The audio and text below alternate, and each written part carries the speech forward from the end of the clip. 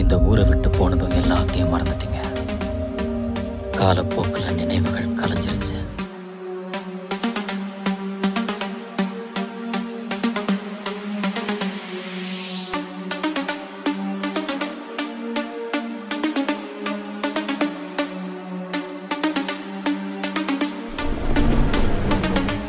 உன்னை என்னன்னு கூப்பிடுவாங்க.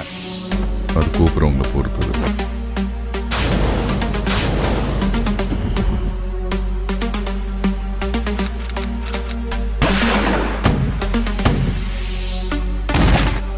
என்னோட நண்பனாக இருக்கிறதுக்கு எந்த தகுதியும் வேண்டாம்.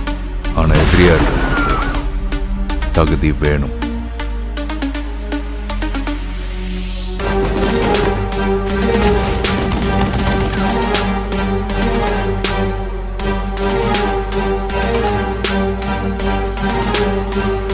you